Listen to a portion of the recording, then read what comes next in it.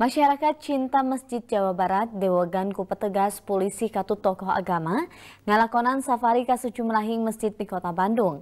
Eta safari teh dilakonan pikeun nyindekeun keayaan masjid salaku tempat ibadah anu netral tur teu dipake kegiatan politik ke asup kampanye.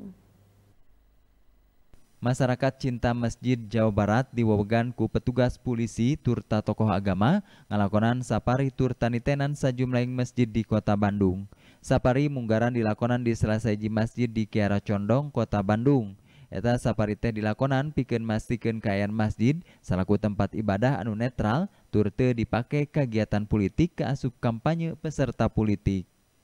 Ketua Masyarakat Cinta Masjid Jawa Barat Budi Hermansah nandeskeun dina tahun politik kiwari tempat ibadah atau masjid remen dimanfaatkan pikeun politik utamana ku peserta politik pikeun kampanye ke masyarakat.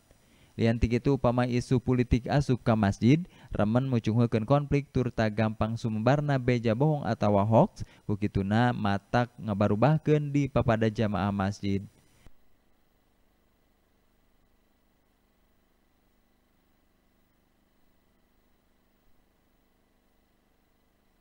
Ini kita di Kota Bandung eh, bisa melaksanakan silaturahmi, melaksanakan sholat Jumat bersama warga di 8 masjid di 8 DKM yang ada di Kota Bandung. Ya, salah satunya kita melaksanakan di Masjid Jami Asifa ini di Kecamatan Kera Condong.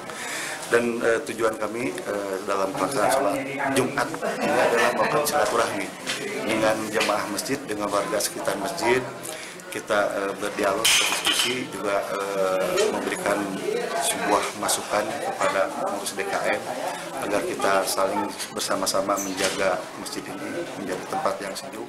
Dina tahun politik Iwari dipiharap taya nunyalah gunakan tempat ibadah atau masjid salaku tempat kampanye atau politik. Masjid salaku tempat ibadah gesa kuduna digunakan piken kepentingan ibadah serta kemaslahatan kemanusiaan. Yuana Kurniawan, Bandung TV